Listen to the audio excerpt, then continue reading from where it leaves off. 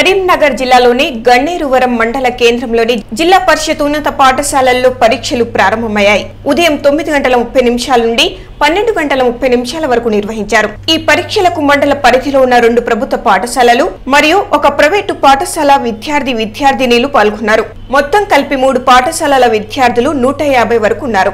దీనిలో అందరూ పరీక్షలకు హాజరయ్యారని ఈ రోజు తెలుగు మొదటి పేపర్ పరీక్ష నిర్వహించారు అని గన్నేరువరం పాఠశాల ప్రధానోపాధ్యాయులు శంకర్ తెలిపారు. పరీక్ష కేంద్రంలో Ganneruvaram MEO Lakshmanarao chief superintendent Tirupati ఎలాంటి ఇబ్బందులు జరగకుండా వీరి పర్యవేక్షణలో పరీక్షలు నిర్వహించారు. Private school.